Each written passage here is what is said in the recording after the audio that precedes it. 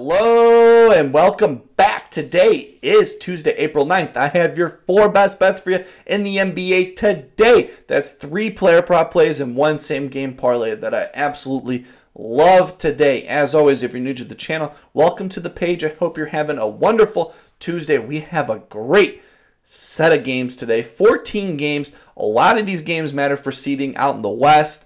Some games out in the East do matter. The Celtics Bucks game is a big game for the Magic and for the Knicks as well, because the Bucks are the second seed, but they're only a game ahead of the Knicks in Orlando, so that's a huge game. So Orlando and the Knicks will be trying today. Celtics, I'm not fully sure what they will be doing for their lineup because they already have the top top seed overall locked up, so they really don't need this game. But it's always nice to knock off a rival, I'd say.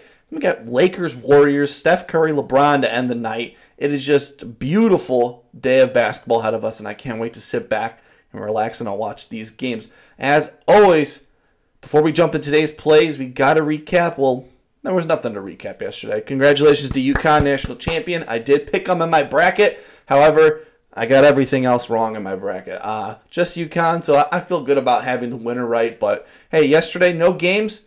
So today we're locked and loaded. As always, please make sure to follow my Twitter at DaWiddler. I'm making this pretty early in the day. But I will have some a, a, few more plays for like these other games. Not a lot of lines are out, or I'm waiting for a little more injury news to come out. So holding off on those, but I love these four plus plays here, and let's just jump into it. For my first best bet of the day, it's going to be in that Bulls Knicks matchup here. Hey, Chicago kids back home. Jalen Brunson has balled out against this Bulls team. The Bulls could be without Alex Caruso here, so hey, even more love to Jalen Brunson here. So I'm going with Jalen Brunson over 10.5 rebounds assists coming in at minus 120 on DraftKings. Let's dive into it. The last time they played, Jalen Brunson had 17 rebounds assists. He was absolutely wheeling and dealing passing the ball. He plays a Bulls team that allows the fifth most assists to the point guard position, so he could take advantage of that overall. He's gotten this over three for his last three games against the Chicago, averaging 15.3 rebounds assists. He's gotten this over four of his last five games overall, averaging 13 rebounds assists. So he has been passing the ball like no other, and he's been grabbing a few rebounds for us here and there. My projections have him at 13 rebounds assists overall, so we get a two point cushion here.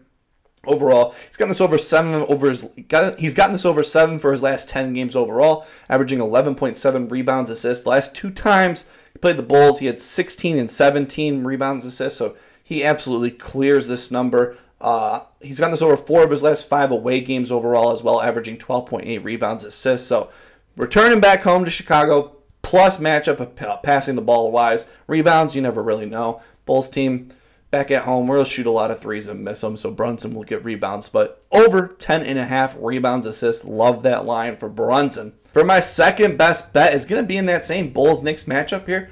Hey, I took I didn't take his points last game and he dropped 30. I'm back taking it. I'm taking his rebound points assists though. Going with DeMar DeRozan over 29 and a half rebounds points assists. Sorry, over 29 and a half points assists minus 120 on FanDuel. Let's jump into it. He's actually gotten this over 5 for his last 5 games, averaging 33.8 points assists. Last time he played the Knicks, he had 30 on the nose, but he had 10 assists overall, 20 points in that game. So I think DeMar can actually make a few more baskets here. Hey, the assist there, I think I have him at six assists in the game, so we'll just need 24 points from him. So I feel good about DeMar being at home for this. The Knicks allowed the ninth most points to the power forward position and the sixth most assists to the power forward position. So, hey, DeMar has a great matchup here. He's actually gotten this over two for his last two games versus the Knicks, averaging 32.3 points assists. So great matchup overall, and he has a proven track record of getting this over. So you got to love that overall. He's gotten this over eight for his last 10 games overall as well, averaging 32 points assists. Steady volume, 20 field goal attempts in these last 10, 10 games. Got to love that. In the last five games, he's averaging 12 plus potential assists. So the assist potential is right there. Steady volume. You love that in a player this late in the year. Uh, like I said, last time they played, he had 20 and 10, so he easily got the over. I think this time he'll make a few more shots, so I, I think this is going to be an easy over for us.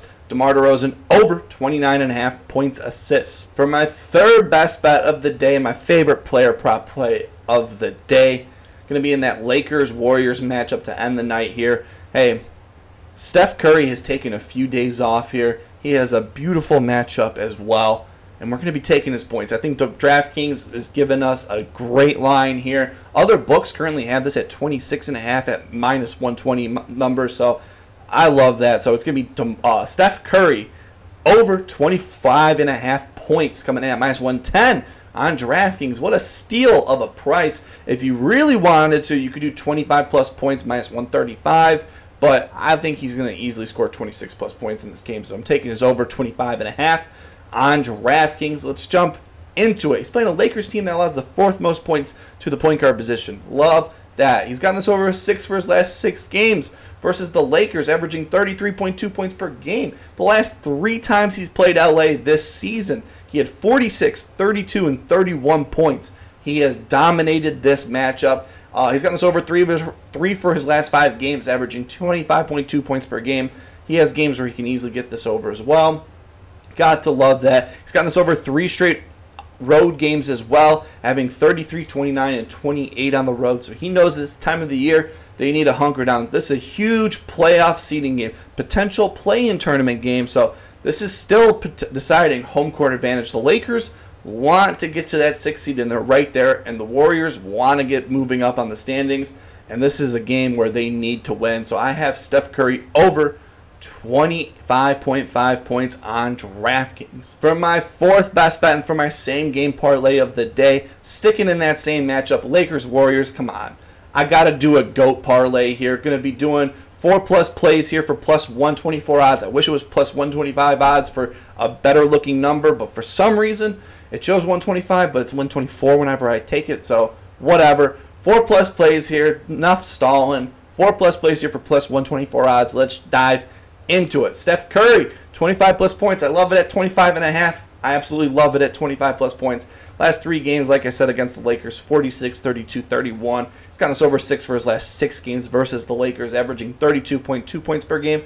Beautiful matchup. Fourth most points to the point guard position the last 30 games. Love that. He's gotten us over three for his last five games overall, 25.2 points per game. Second leg, LeBron James, 20 plus points. Come on, Mr. GOAT, 20 plus points. He's gotten us over nine for his last 10 games, averaging 26.2 points per game. He's gotten us over five for his last five home games as well, averaging 27 points per game. He's gotten us over four for his last four games versus the Warriors, averaging 29.5 points per game.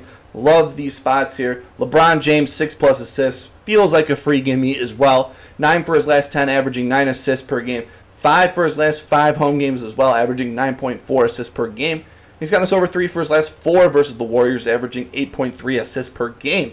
Love that. At home as well, role players play better at home. They'll knock down their shots. And then Steph Curry, speaking of knocking down shots, three plus threes for us. Uh, he's gotten this over nine for his last 10, averaging 4.2 threes per game. Gotten this over six for his last six games versus the Lakers, averaging 4.6 threes per game. And like I said, last three games he's played against the Warriors, uh, against the Lakers, he's had nine, six, and three, clearing this easily. I love these four plus spots here. You want to have a little fun, you could do a little ladder with this because I might be doing a little ladder to Curry 30, LeBron 25, and leaving the other two down below like they are. Love these four plus plays here for plus 124 odds on FanDuel. Those are my four best bets for you in the NBA today. It is a beautiful slate of games ahead of us. I cannot wait to watch these games. As always, if you're new to the channel, welcome to the page. Please leave a like and subscribe down below. It just takes a few seconds and it's free, so might as well. Hey, please make sure to follow my Twitter down below at DaWiddler. I feel like I have a few more plays here. It's early on where, like I said, I'm waiting on a few things, injuries and all of that to come out and seeing playing time as well for some teams here. Seeing if they're really trying or not and see who's starting, who's not. Don't want any late scratches here. As always, I hope you're having a wonderful Tuesday. Keep on smiling. I will see you in the next one.